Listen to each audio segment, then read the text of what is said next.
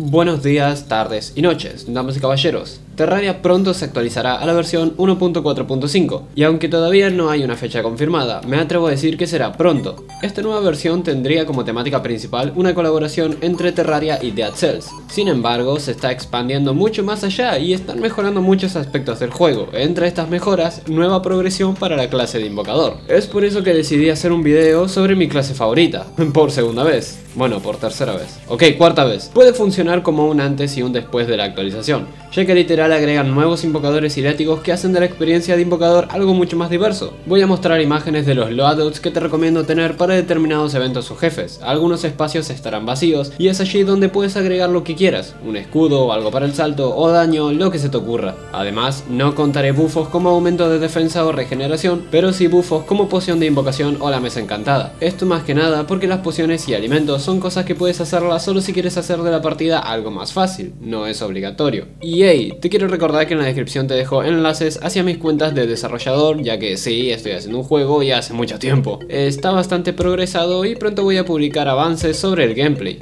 Así que nada, te los dejo ahí, estaría bueno que le eches un vistazo. Y ahora sí, sin más que decir, comenzamos con la guía de invocador.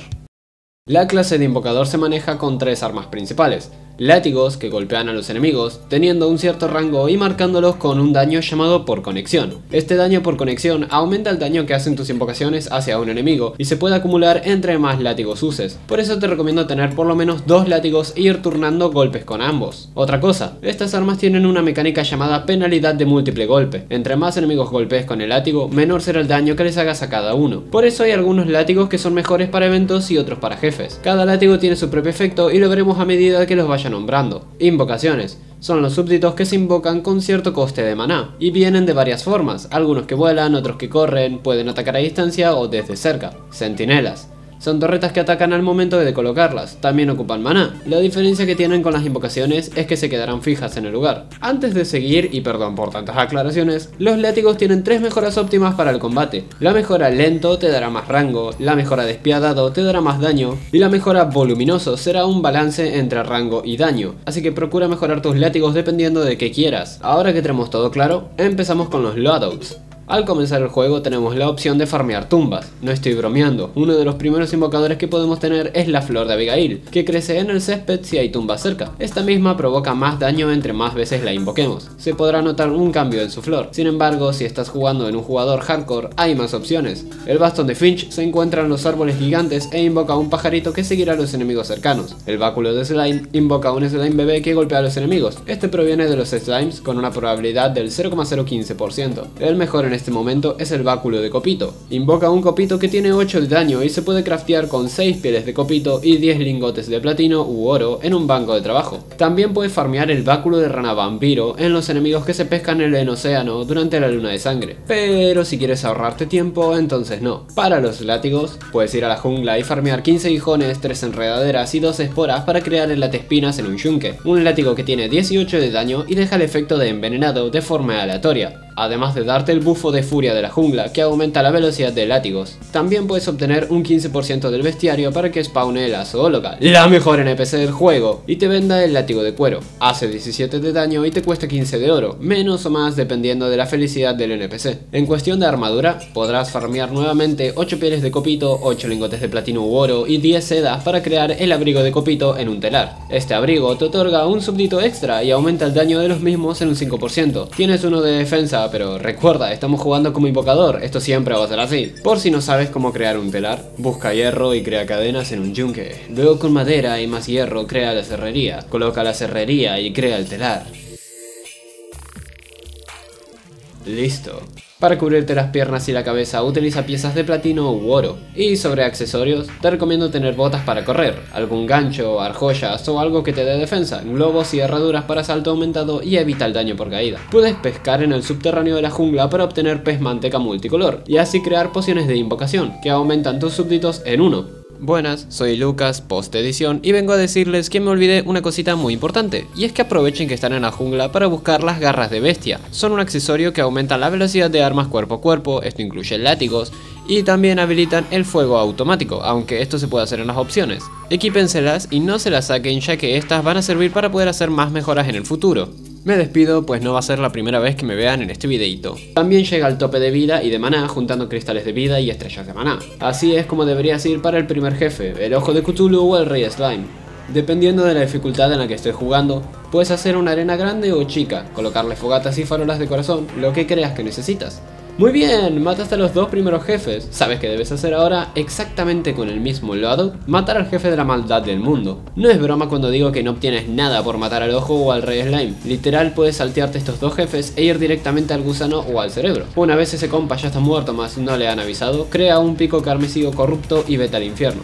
Sí, Vete al infierno a buscar un horno infernal y minar algo de piedra infernal para así crear el segundo loadout. Sobre invocaciones, usa 17 lingotes de piedra infernal para crear el báculo de diablillo, que invoca unos diablillos con 21 de daño y que pueden dejar en llamas a los enemigos. Para armadura, con un total de 60 de obsidiana, 20 muestras de tejido o escamas de la sombra y 30 sedas, podrás crear en un horno infernal la armadura de obsidiana, teniendo 15 de defensa y varios buffos, como aumento el rango de los látigos en un 30% y la velocidad de los mismos en un 15%, además de incrementar los súbditos en 1 y el daño de invocación en un 15%. Para látigos y accesorios no desbloqueamos nada, pero podría aparecer la invasión de duendes y así tener el taller de chabuscas que servirá para optimizar nuestro equipamiento. Esta parte del juego es la que rompe la progresión de invocador, ya que podemos hacer lo que yo te dije y matar a jefes que supuestamente están antes del infierno, me refiero a Skeletron o a la abeja reina, pues este nuevo loadout quedaría así. Con esto podemos enfrentar a dos jefes incluyendo el ciervíclope, que de hecho sí es importante. Una vez derrotados ambos jefes podrás optar por usar la armadura de abeja o quedarte con la de obsidiana. En lo personal prefiero a la de obsidiana ya que tiene más rango de látigo, pero eso queda a tu criterio. Limpia toda la mazmorra de Skeletron para obtener la mesa cautivadora, que aumenta tus súbditos en uno al hacer clic derecho en ella. Farmea huesos y telas de araña para crear el látigazo espinal, un látigo que funciona mejor con grupos de enemigos a diferencia de otros látigos, perfecto para los tumores del murita.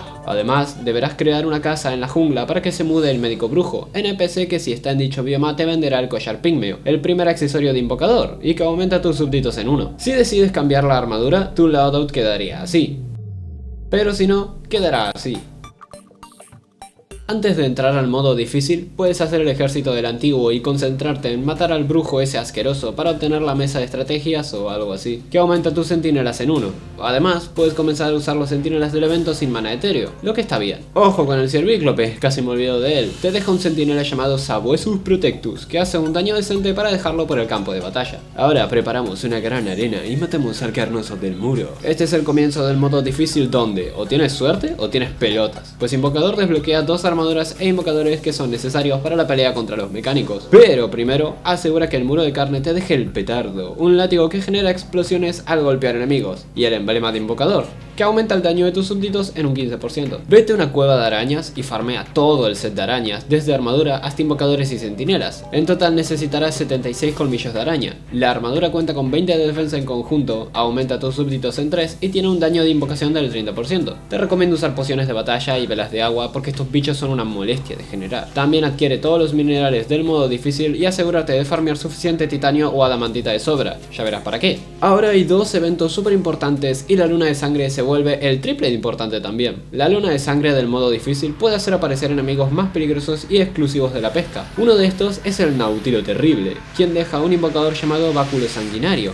que es horriblemente bueno. Luego tenemos la tormenta de arena, que se genera en el desierto y hará aparecer la diosa de arena. Derrotarla te dejará el fragmento prohibido que junto a titanio o adamantita, puedes crear la armadura prohibida, una mezcla entre mago e invocador, que puede generar un tornado de arena al presionar dos veces hacia abajo. Y por último, las tormentas de nieve harán aparecer a un golem de hielo que te dejará el núcleo congelado. Junto a 6 almas de luz y de noche podrás crear el látigo gélido, que al golpear enemigos invocará un copo de nieve que atraviesa a todo el mundo. Estos mismos golem pueden dejar caer una pluma congelada que junto a las almas de vuelo sirve para crear las alas congeladas, con un vuelo muy decente. Buenas, soy Lucas, post edición de nuevo.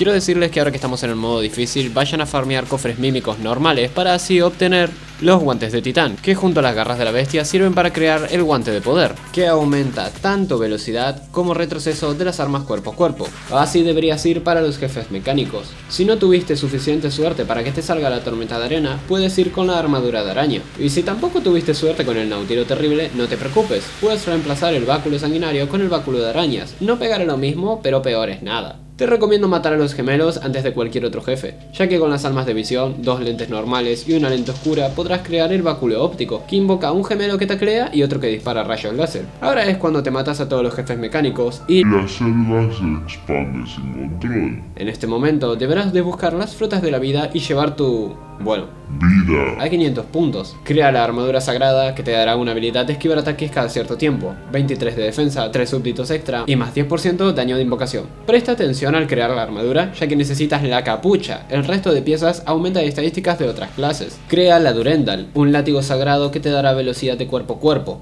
Buenas, soy Lucas, post edición de nuevo. Y ahora que derrotamos a los jefes mecánicos, utilicen sus almas y el guante de poder para poder crear el guantelete mecánico. Y con el guantelete mecánico y una piedra de magma que se obtienen de los murciélagos de lava en el inframundo, podrán crear el guantelete de fuego. Este guantelete aumenta tanto velocidad como retroceso como daño en un 12% de las armas cuerpo a cuerpo y también inflige el estado de en llamas a los enemigos. Pues creo que eso es todo lo que tenía que decir post edición, así que nada, nos vemos y disfruten el resto del video. Haz una arena súper grande dependiendo de la dificultad en la que estés jugando y así es como deberías ir para plantera.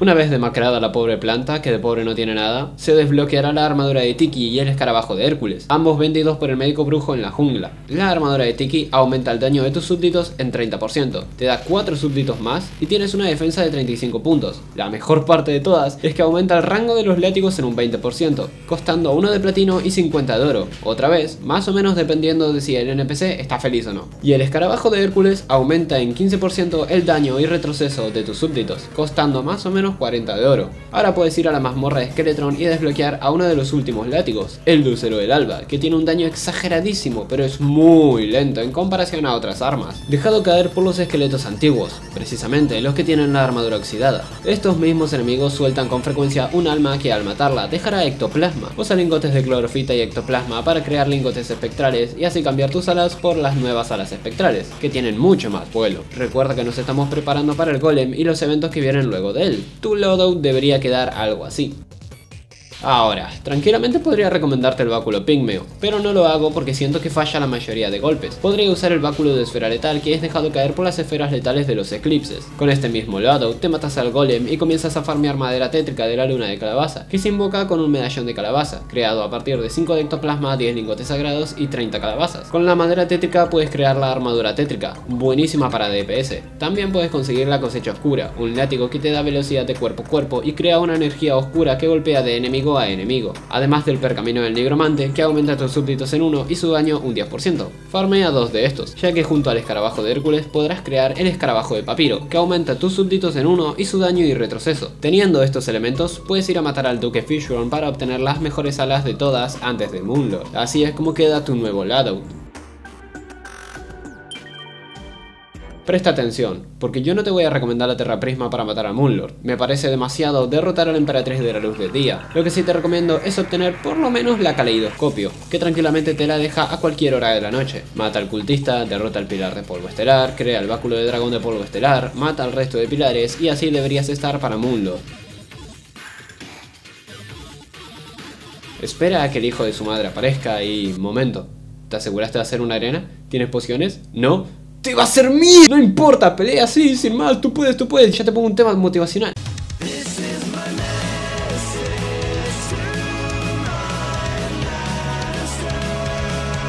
Y Ikisugita, anata ni makeru nante. Watashi no senryoku dakara. Sore wa watashi no kamoku ni arimasu. Ima, shinne!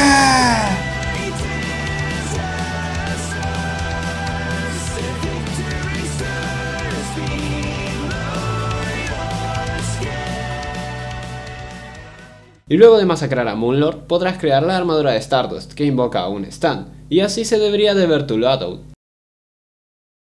Ahora sí, si te dan las pelotas, mata a la emperatriz de luz del día y obtén la Terra Prisma. Y pues, eso. Gracias por llegar al final de la guía. Espero que les haya servido y cualquier recomendación la leo en los comentarios. Recuerden que esto es para tener un antes y después de la 1.4.5 sobre la progresión de Invocador. Pienso hacer más guías cuando salga la próxima actualización y unos amigos me dieron la idea de hacer algo con el mod de Calamity. Ya veremos. Recuerda pasarte por mis cuentas de desarrollador y sin más que decir, nos vemos.